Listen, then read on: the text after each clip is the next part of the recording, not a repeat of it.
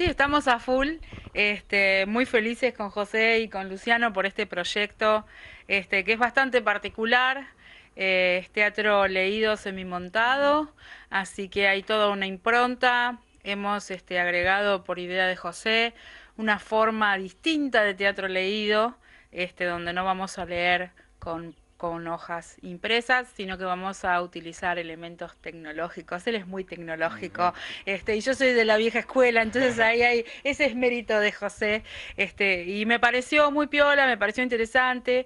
Este, bueno, Luciano, que es un placer siempre compartir con un alumno este, tan destacado, ha tenido un crecimiento impresionante en estos dos años este, y volver a compartir escenario con él, la verdad que es un placer. Y bueno, con José siempre tuvimos ganas de hacer este, cosas juntos y esto es como no sé, es, muy agradable.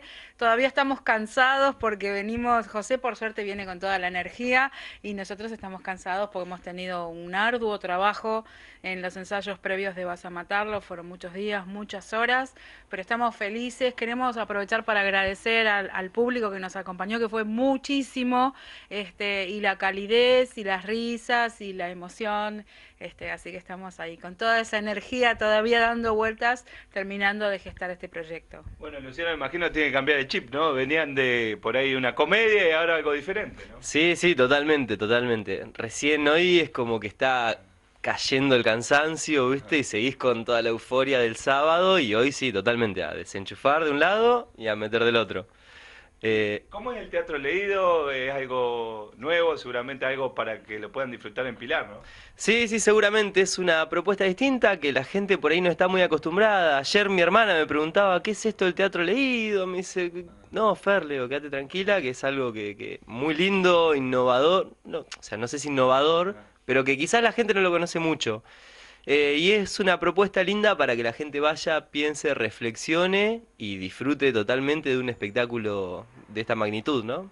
José, con una propuesta diferente de lo habitual, ¿no? Sí, la verdad que primero tengo que agradecer a Cecilia, a su equipo, que me haya hecho esta propuesta, que como siempre dijimos, este, teníamos ganas de hacer algo, y en este sentido me pareció, y lo quiero dejar muy en claro, con mucho respeto el hecho de cruzar los mundos, ¿no? de los medios, de la televisión, junto con el teatro, pero con el solo fin de tratar de renovar el público del teatro y apostar a que la gente, ya sea como digo, vengan a criticar, vengan a chusmear o vengan a aplaudir, pero que vengan al teatro, que disfruten la ceremonia de estar en esas paredes, en esas butacas, desenchúfense un ratito y a través de esto que se llama teatro leído y semi montado, darle la excusa para decir, ah, bueno, mira, tengo el sábado libre, voy a ir a ver, voy a apoyar lo que es el teatro cultural.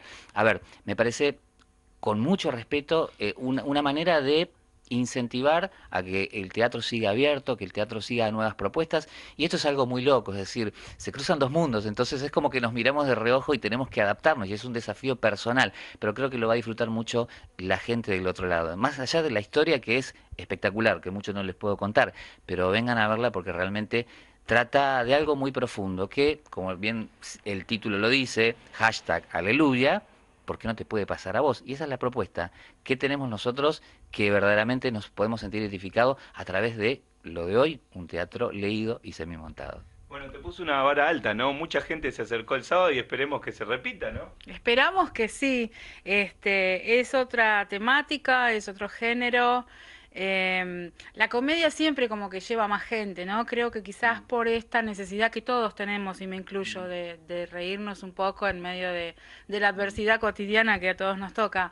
Este, y creo que el compromiso del actor en este momento eh, es también no distraer, sí entretener, que no es lo mismo. La gente necesita entretenerse. Bueno, y esta es para pensar, es este, sí, es como reza el título, ¿no? Es algo que le puede pasar a cualquiera. Este, así que es una temática interesante. Vamos a mantener el misterio hasta ese día y cuando la gente venga y vea sobre todo el final, porque tiene un final que los va a sorprender y esa es la idea, por eso no adelantamos nada. Hablamos de que es una historia que le puede pasar a cualquiera, de amor, desamor, este, y realmente se van a sorprender. Bueno, el lugar para verlos, Teatro López Vega el sábado. Teatro López Vega el sábado, 21 a 30 horas, y verdaderamente vamos a estar muy gustosos en nombre del teatro y con mucho respeto esto que, que armamos acá y que me han permitido sumarme a todos este, para que vengan a disfrutar de esta obra. Gracias.